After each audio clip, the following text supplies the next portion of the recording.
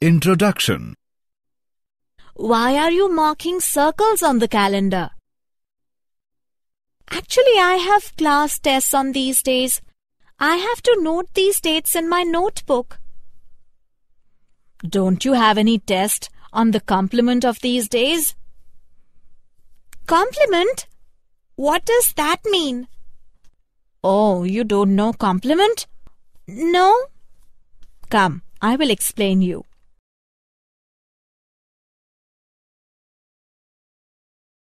Objectives.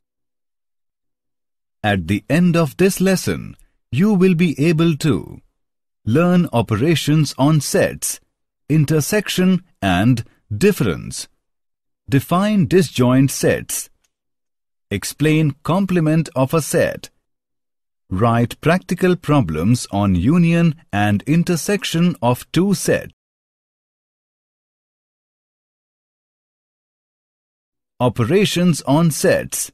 Intersection. The intersection of two sets A and B is the set containing those elements which are elements of A and elements of B. We use this symbol for intersection. Example, if A is equal to 3, 4, 6, 8 and B is equal to 1, 2, 3, 5, 6. Then A intersection B is equal to 3, 6. Look at this diagram now.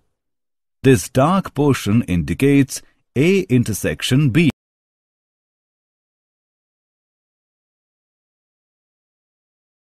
Disjoint sets Two sets are said to be disjoint if they have no element in common. Or we can say that two sets A1 and A2 are disjoint if their intersection, that is, where phi is the empty set. For example, 1, 2, 3 and 4, 5, 6 are disjoint sets. The sets of alive and dead people are disjoint. The disjoint sets can be represented by means of Venn diagram as shown.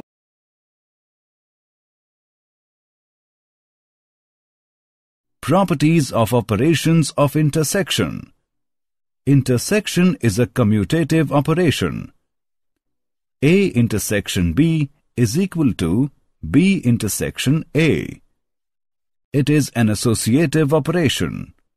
A intersection B intersection C is equal to B intersection A intersection C. The distributive law is true. A intersection B union C is equal to A intersection B union A intersection C. Law of phi and U phi intersection A is equal to phi U intersection A is equal to A. Idempotent law A intersection A is equal to A.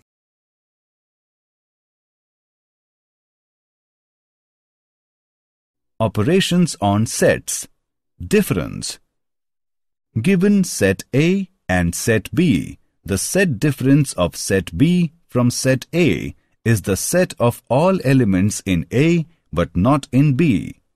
We can write A minus B. Look at this Venn diagram. This shows us the difference of the two sets S1 and S2.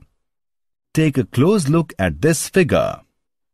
Elements in A only are B, D, E, G. Therefore, a minus B is equal to B, D, E, G. Notice that although elements A, F, C are in A, we did not include them in A minus B because we must not take anything in set B. Sometimes, instead of looking at the Venn diagrams, it may be easier to write down the elements of both sets then, we show in bold the elements that are in A but not in B. A is equal to B, D, E, G, A, F, C. B is equal to K, H, U, A, F, C.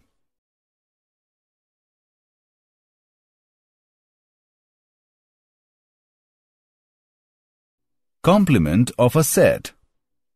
Given a set A, the complement of A is the set of all element in the universal set U, but not in A. We write the complement as In other words, the complement of set A, denoted by A dash, is the set of all elements in the universal set that are not in A. The shaded area outside A represents A dash. The number of elements of A and the number of elements of A dash make up the total number of elements in U. That means n times of A plus n times of complement of A is equal to n times of U.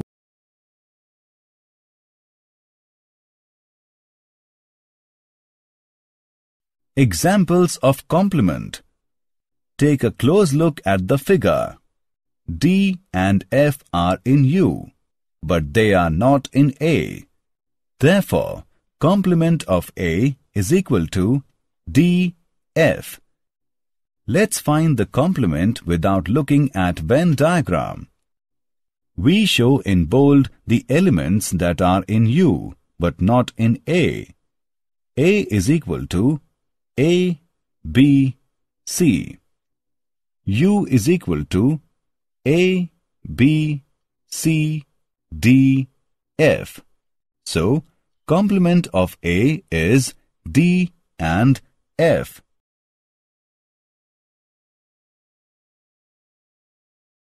De Morgan's law.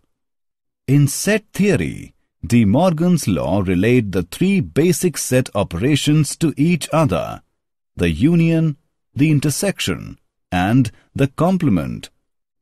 De Morgan's laws are named after the Indian-born British mathematician and logician Augustus De Morgan. If A and B are subsets of a set X, De Morgan's law state that complement of A union B is equal to complement of A intersection complement of B complement of A intersection B is equal to complement of A union complement of B. Here, this denotes the union, this denotes the intersection, and this denotes the set complement of A in X, that is,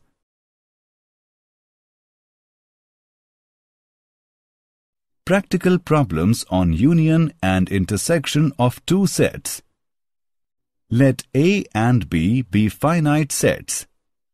If A intersection B, which is equal to phi, then n times of A union B equals to n times of A plus n times of B. n times of A union B equals to n times of A plus n times of B minus n times of A intersection B. If A, B and C are finite sets, then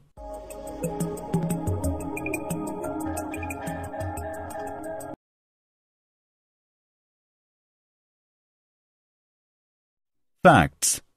The sets A minus B, A intersection B and B minus A are mutually disjoint sets that is, the intersection of any of these two sets is the null set. Did you know? Descriptive set theory is the study of subsets of the real line and, more generally, subsets of Polish spaces. It begins with the study of point classes in the Borel hierarchy and extends to the study of more complex hierarchies such as the projective hierarchy and the Wadge hierarchy. Summary Let us summarize what we have learned.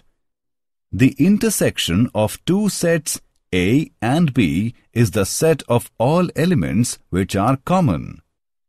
The difference of two sets A and B in this order is the set of elements which belong to A but not to B. The complement of a subset A of universal set U is the set of all elements of U which are not the elements of A. For any two sets A and B, complement of A union B is equal to complement of A intersection complement of B and complement of A intersection B is equal to complement of A union complement of B. If A and B are finite sets such that A intersection B which equals to phi, then n times of A union B is equal to n times of A plus n times of B. If A intersection B not equals to phi, then n times of A union B is equal to n times of A plus n times of B minus n times of A intersection B.